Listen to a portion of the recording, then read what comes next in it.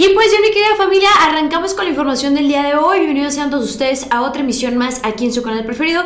Y bueno familia, se comienza a tambalear. Para aquellos de la oposición que salían bailando y festejando, asegurando que era un triunfo, que la oposición hubiera logrado rescatar de panzazo seis gubernaturas y que Morena solamente se hubiera podido llevar cuatro, pues era bastante humillante de por sí. Pues bueno, hoy te platico que existe la nueva posibilidad de que Morena pueda recuperar una gubernatura más. Luego de que, bueno, pues comienzan a salir videos, fotografías de estas mantas electorales donde, bueno, muchos votos no fueron contabilizados y que el INE no había dicho absolutamente nada y que en realidad no cuadra lo que pasó en los estados con lo que se publicó en el PREP. También te vamos a platicar cómo es que una de las gobernadoras ya salió a dar pelea y aseguró que impugnarán las elecciones. Es decir, que veríamos un caso parecido al de Campeche con Laida Sansores. Por otra parte, también decirte que, bueno, agarran a García, a Cabeza de Vaca y, bueno, pues en esta semana una disculpa, en esta semana donde, bueno, pues la Suprema Corte de Justicia ya no se puede hacer para ningún lado. Es un momento de tomar una decisión. ¿Se le quita o no se le quita el fuero a cabeza de vaca? Mientras que Américo, quien ganó por un muy buen porcentaje en Tamaulipas y arrebata el bastión al PAN, asegura que sus días están contados. De esto y más vamos a platicar el día de hoy, mi querida familia, así que acompáñanos en esta transmisión, bonito fin de semana semana no pudo empezar de mejor manera y bueno, también aprovechar para decirles que el PAN le pone de condición a Marco Cortés que si en la siguiente quieren el apoyo de las estructuras es necesario que se deshaga del PRI y del PRD. Obviamente esto prende las alarmas en el PRD porque si aún sigue subsistiendo es gracias a esta alianza y de no existir para la siguiente pues ya no habría forma de rescatar este partido. Así que vamos desmenuzando todo lo que aconteció y está aconteciendo en estos momentos porque esto no se ha acabado mi querida familia. Primero todos fuimos testigos y si te lo perdiste aquí te doy un ejemplo, inclusive levantaron a un youtuber en Aguascalientes que estaba bueno pues el día de ayer difundiendo información y que esto prendió también el foco rojo en el día de ayer en las elecciones donde si bien es cierto estuvo la Guardia Nacional acompañando, la realidad es que la Guardia no tuvo un despliegue en cada rincón de las entidades federativas. Vamos a escuchar y dice así. Que es un secreto a voces que se está mencionando que pues posiblemente si haya, si haya movimiento fraudulento el día de hoy, ¿no? Seguimos viendo, vamos a ver de este lado. No hay nada. Ven, ven, ven, ven. Espérame, espérame. Ven, ven, ven. No, espérame. Ven, güey. Ven. ¿qué, Ven. qué Te voy, a necesitas? decir, te voy a decir una pinche cosa. Dime, carnal. Te voy a decir una cosa. Vengo a chambear, güey. No me pagan para Por chambear. eso, güey.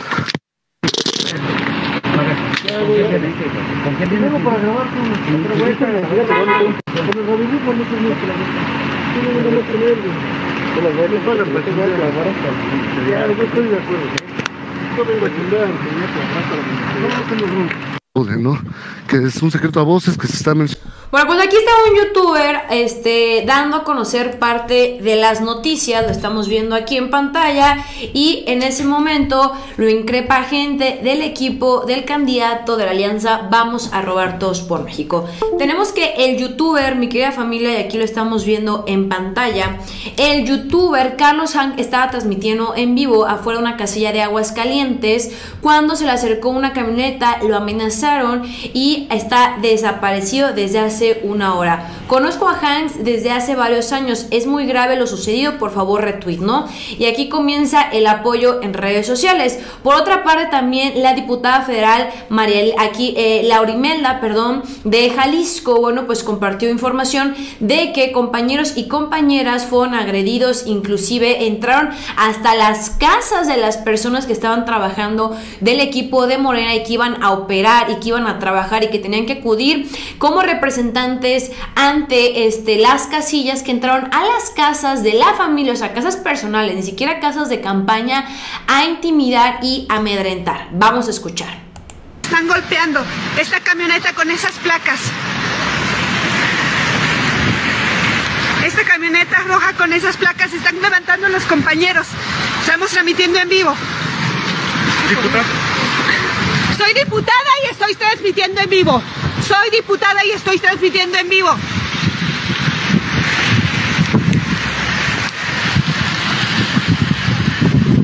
Aquí están.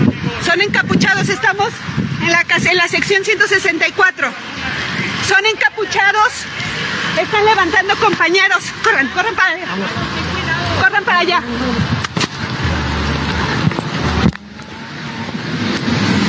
Ahí van. Van armados.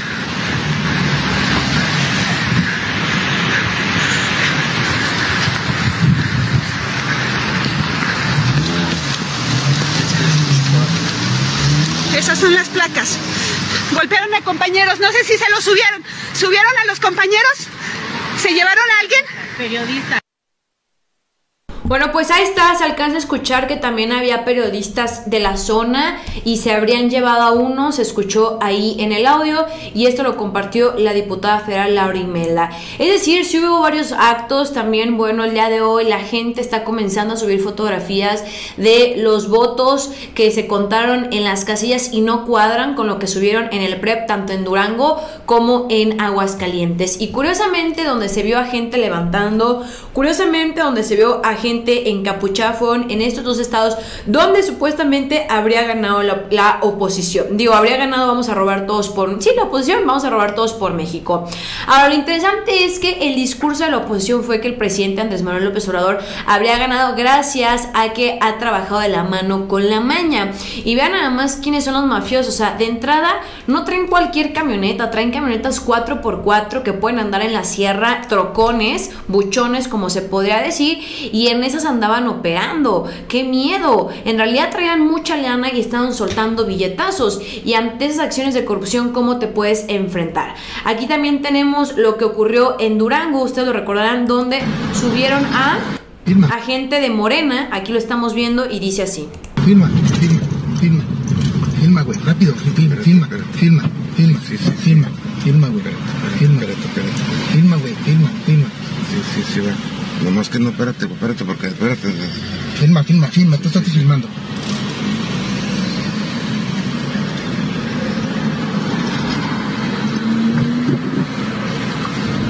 Allá que bájalo, bájalo.